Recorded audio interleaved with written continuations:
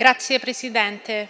Signora Ministra, a me tocca spiegarle perché i deputati di Facciamo Eco sono costretti a votare contro questa riforma. Noi abbiamo chiesto che gli ecoreati fossero compresi tra quei reati per cui non è prevista l'improcedibilità. Poi abbiamo provato una mediazione, vi abbiamo chiesto che almeno il disastro ambientale rientrasse in questi provvedimenti. Poi abbiamo presentato un ordine del giorno per impegnare il governo ad affrontare questa situazione. Su queste nostre tre proposte ci è stato detto di no. Ecco, la legge numero 98, a prima firma Relacci, del 2015, Ministra, è frutto di una mobilitazione popolare durata vent'anni, frutto di quei territori che nel nostro Paese hanno conosciuto l'inquinamento ambientale, la messa a rischio della salute dei cittadini e delle cittadine.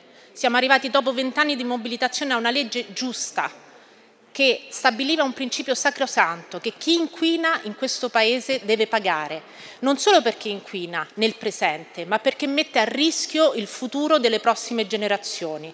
Quelle prossime generazioni nel, in nome dei quali noi stiamo facendo la cosiddetta transizione ecologica.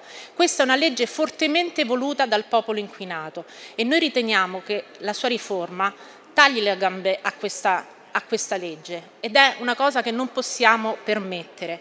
Guardi, la grande amarezza è che oggi chi non ha voluto quella legge nel 2015, nel 2021 sta vincendo.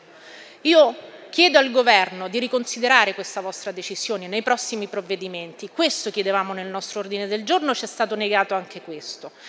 Io in questi giorni stiamo vedendo un pezzo importante del nostro Paese che va a fuoco. Noi rischiamo che con un procedimento del genere vada a fuoco soprattutto la giustizia, vada in fumo la giustizia e questo non possiamo consentirlo.